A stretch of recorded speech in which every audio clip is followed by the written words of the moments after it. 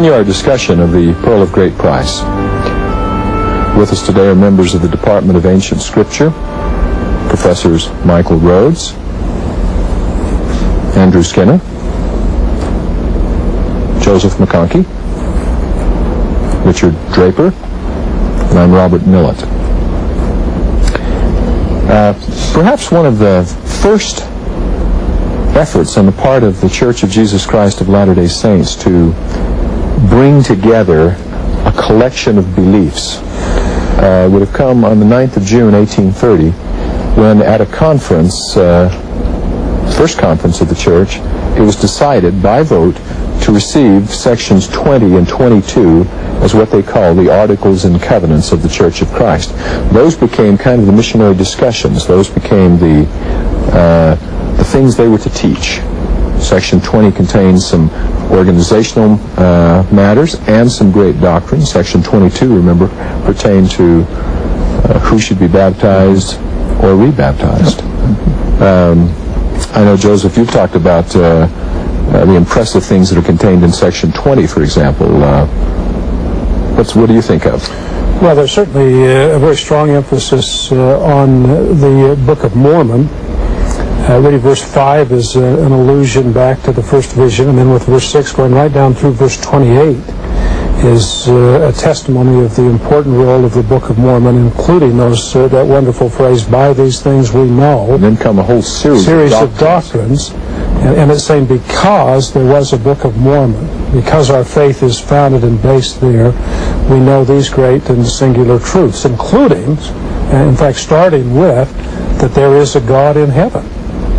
That's a very uh, significant announcement. We're, we're not saying we know there's a God in heaven because of Christian history or mm-hmm. for some other reason. We're saying it because we have the Book of uh, Mormon, because there was a first vision, because of the revelations of the Restoration. Okay, so you have a listing of doctrines. that would probably be one of our first collections of this is what we believe, this is what we teach. Um, I was interested to read in the, the prophet Joseph Smith's preface to the 1835 or first edition of the Doctrine and Covenants the following statement. There may be an aversion in the minds of some against receiving anything purporting to be articles of religious faith in consequence of there being so many now extant. But if men believe a system and profess that it was given by inspiration, certainly the more intelligibly they can present it, the better. It does not make a principle untrue to print it. Neither does it make it true not to print it. The church was evil spoken of in many places, its faith and belief misrepresented, and the way of truth thus subverted. By some it was represented as disbelieving the Bible, by others as being an enemy to all good order and uprightness, and by others as being injurious to the peace of all governments, civil and political. I'm interested in the prophet's description. It does not make something untrue to print it. And I, and I really like where he says, uh, if we can present our message in an intelligible, organized way, what we believe, so much the better. Well, too, and he's coming out of uh, out of an entire historical period where they were trying to do that. In other words, it's no longer the catechism. What they're trying to do is get away from that and be able to define very succinctly core beliefs. So there, there's a history of this trying to just pin it down in a way that is very intelligible for other people to understand who we are and what we are. Okay. Um, there were several efforts through the years, uh, as we know, to bring together a statement of articles of belief or articles of faith by such persons as Joseph Young, Oliver Cowdery, Orson Pratt. Mm-hmm. Orson Pratt had 13 or 14 articles of faith. Uh, um, Let's come down, though, to what we have in the Pearl of Great Price, given as the uh, Articles of Faith listed there as a part of, the tail end of, the Wentworth Letter.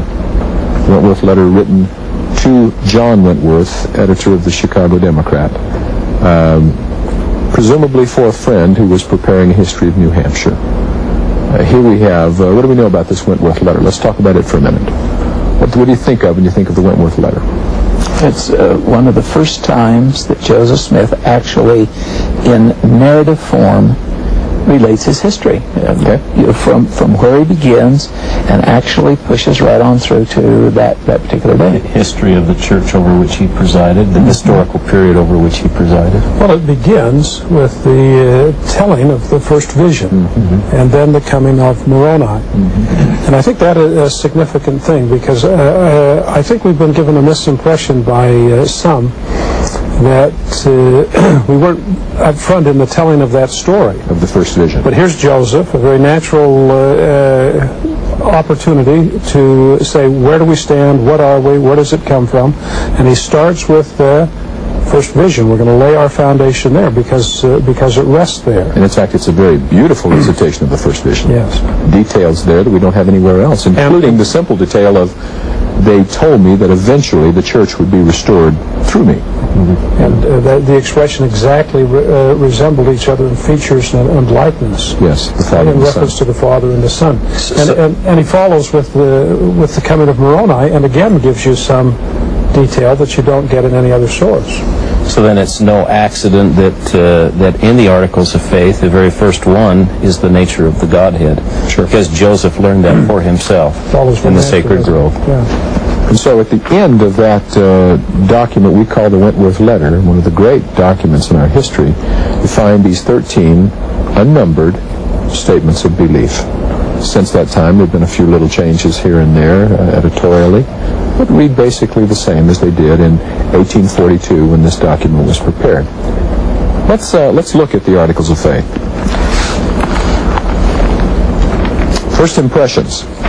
One of the things I think we we could say, and that is, as they come out in the first edition of the Pearl of Great Price, they aren't articles of faith. They're just simply there, just statements of belief, or just listed right there. probably should acknowledge, uh, thank you, Richard, that uh, when the Pearl of Great Price is first organized by Franklin D. Richards, the Articles of Faith are there. Yep. When it's first it. canonized, when the Pearl of Great Price is first canonized in, what, 1880, it's they're there. But interestingly, there seemed to be some question in the minds of uh, Latter-day Saints over the years as to whether the Articles of Faith was part of that canonized collection, and so it was redone in 1890, and uh, And again in 1892, just 92. to make sure that everybody knew that this the was Articles of Faith, canon. part of the canon of Scripture.